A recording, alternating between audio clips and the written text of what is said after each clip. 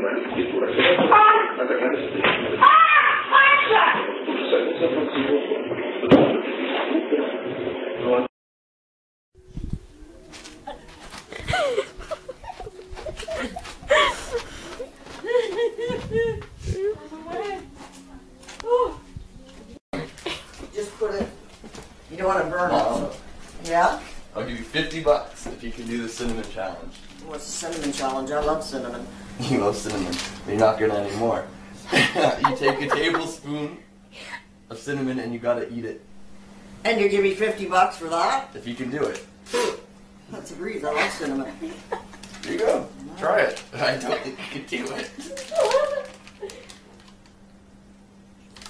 Oh, we should get her some water ready. Alright, there's some right there.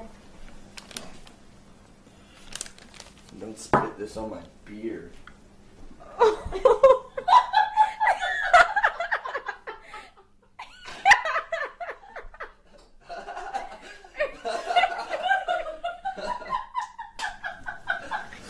Oh my god.